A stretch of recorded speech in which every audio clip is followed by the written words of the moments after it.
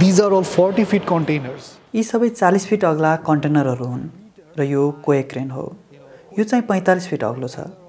अनि यी क्रेनहरू ग्यान्ट्री क्रेन हुन् जुन अहिले सञ्चालनमा छन्। यी संरचनाहरूको तुलनामा मानिसहरू निकै साना देखिन्छन्। एउटा बन्दरगाहमा यस्ता सयौँ माइल कन्टेनरहरू हुन्छन्। यस्तोमा त्यहाँ सयौँ यस्ता मानिसहरू हुन्छन् जसले त्यो बन्दरगाहमा भएका सामग्री कहाँ के छन् भनेर खोज्नुपर्ने हुन्छ। किनभने यो यति ठुलो हुन्छ कि यहाँ सामान्यतया केही भेटिन गाह्रो पर्छ। साथै क्रेनमा काम गर्ने मानिसहरू एकदमै व्यस्त हुन्छन्। किनभने उनीहरू चालिस फिट माथि काम गरिरहेका हुन्छन्। यदि शौचालय जानु पर्यो भने पनि तल आएर माथि फर्किन उनीहरूलाई एक घन्टाको समय लाग्छ They have to go up 45 meter, and if they even have to take a bathroom break, that is like one hour gone. Come down, take the loo, then go back. And they are operating in a very, very, very harsh condition. यसलाई सजिलो र स्वचालित बनाउन सुरुवाती समयमा मानिसहरूले fibre अथवा वाइफाईको प्रयोग गरेका थिए फाइबरको चुनौती भनेको चाहिँ बन्दरगाहमा गरौँ कन्टेनरहरू हिँड्छन् जसले गर्दाखेरि चाहिँ फाइबर चुडिने जोखिम बढी हुन्छ। घरकै इन्टरनेटको तार बिग्रियो भने त मर्मत समार गर्न समय लाग्छ भने यस्तो ठाउँमा फाइबरमा समस्या देखियो भने स्थिति झनै खराब हुन्छ। With Wi Fi, the biggest challenge is अर्कोतिर वाइफाईको सबैभन्दा ठुलो चुनौती भनेको चाहिँ ल्याटेन्सी हो। किनभने ल्याटेन्सीले गर्दाखेरि सेवा बिसदेखि तिस मिली सेकेन्ड ढिलो हुन पुग्छ जसले गर्दाखेरि चाहिँ यी सबै कामहरू स्वचालित रूपमा गर्नको लागि चाहिँ सम्भव हुँदैन। फाइभ जीले भने त्यो ल्याटेन्सीको चुनौतीलाई समाधान गर्न सक्छ। यो एकदमै रियल टाइममा हुन्छ। किनभने यो नक र यो संरचनाबाट सबै कुरा तिनदेखि पाँच मिली सेकेन्डमा कनेक्ट हुन्छ। यहाँनिर कोही क्रेनमा सयौँ क्यामेराहरू जडान गरिएको हुन्छ र उनीहरू यहाँ कुनै कोठाभित्र बसेर आरामसँग कुनै समस्या बिना नै काम गर्न सक्छन्। काम कसरी भइरहेको छ भनेर पनि थाहा पाउन सकिन्छ। भिजुअल एनालाइसिस गरेर। Whenever there is a truck coming in, you know, यहाँबाट आउँदै गरेको ट्रक कन्ट्रोल युनिटबाटै देख्न सकिन्छ। कता जाँदैछ कुन कम्पनीको हो र त्यसले कतिको बन्दरगाहको नियमहरू पालना गर्दैछ भनेर थाहा पाउन पनि सक्छौँ। जब तपाईँसँग एउटा स्वचालित गाडी हुन्छ जसले यो सबै लेन र क्रेनको बिचमा काम गर्न सक्छ यसले तपाईँको इन्धन खपतलाई न्यूनीकरण गर्न सक्छ। त्यसैले गर्दाखेरि फाइभ जीमा आधारित प्रविधि मार्फत हामी बन्दरगाहमा भएका धेरै समस्याहरू समाधान गर्न सक्छौँ। अव्यवस्थित कुरालाई व्यवस्थित गर्न सक्छौँ किनभने भौतिक रूपमा मानिस गएर जाँच गर्ने प्रणालीमा हामी निर्भर हुँदैनौँ। यदि यो कन्टेनर आज बाहिर जाँदैछ र कसैले गल्तीवश यसलाई माथि राखिदिएको छ वा अन्त कतै राखिदिएको छ भने यो सञ्चार गर्नको लागि फाइभ जीबाट सहज हुन्छ। मिली सेकेन्ड स्तरको ल्याटेन्सीले गर्दाखेरि यो काममा चाहिँ सहयोग पुग्छ जुन फाइभ जीको सुन्दर पक्ष हो। Ports are being smart for last 10 years. किनभने विगत एक दशकदेखि बन्दरगाह स्मार्ट हुँदै गइरहेका छन्। यो आजको कुरा होइन। फाइभ जी अघि फोर जी थियो फाइबर थियो वाइफाई पनि थियो तर हामीले यो पहिले कुशलतापूर्वक र सुरक्षित रूपमा चाहिँ गर्न सकिरहेका थिएनौँ जति हामी आज गरिरहेका छौँ।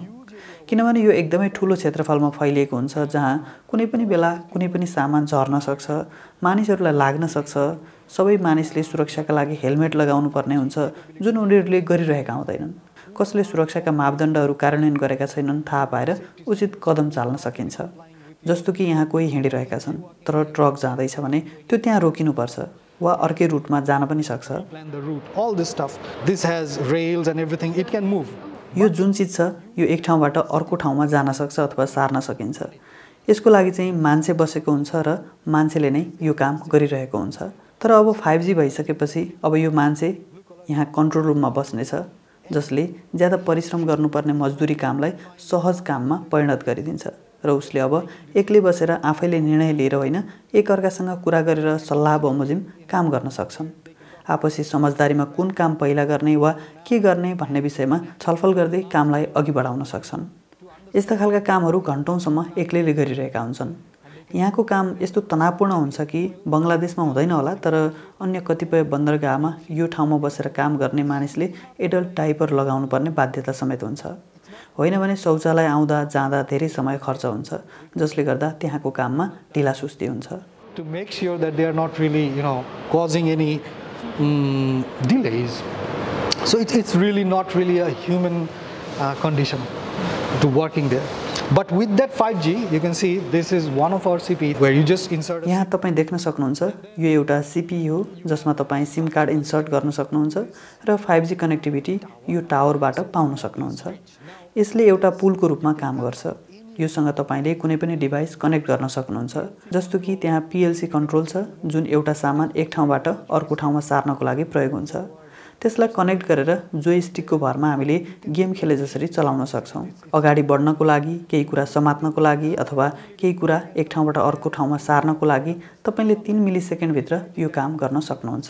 We have not only done this in the ports as you can see we have power solutions we have mining solution there are very detail solutions for mining for example in China 5G जीबाट यस्तो खालको परिवर्तनहरू सम्भव छ। र हामीले यो बन्दरगाहमा मात्र होइन हामीले विभिन्न खानीहरूमा काम गर्दा हुने समस्या समाधानको लागि पनि यस्तो खालको प्रविधि उपयोगमा ल्याइरहेका छौँ। उदाहरणको लागि चिनमा सातभन्दा बढी प्रकारका खुला खानीहरू छन् जस्तो कि कोइला खानी अथवा अन्य कुनै मिनरल खानी यस्तो संवेदनशील स्थितिमा पनि हामीलाई सञ्चारको आवश्यकता पर्छ। नेपालमा त थाहा छैन तर भुटानमा यस्तै एउटा घटना पनि भएको छ। उनीहरू एउटा उपत्यकाबाट अर्को उपत्यकामा जानको लागि एउटा सुरुङ खन्दै थिए। त्यो सुरुङमा सञ्चारका लागि समस्या भइरहेको थियो। त्यसको समाधानका लागि हामीले यस्तै प्रविधि मार्फत सेवा उपलब्ध गराएका छौँ। Software. हामी वास्तवमा सफ्टवेयर बेचिरहेका छौँ। यो फाइभ जी प्रविधिमा आधारित स्मार्ट बन्दरगाहबाट हामी तिसदेखि तेत्तिस प्रतिशत सञ्चालन लागत बचत गर्न सक्छौँ। हामीले यो कुरा युरोप र हङ्गेरीमा अनुभव गरेका छौँ।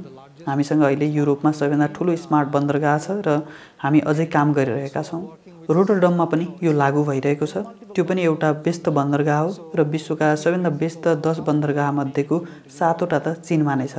जसमध्ये तिनवटामा यो प्रणाली लागू भइसकेको छ भने अन्यमा पनि लागू हुने प्रक्रिया अघि बढेको छ। It makes sense right so they are and three ports are slowly adapting so we have huge experience on this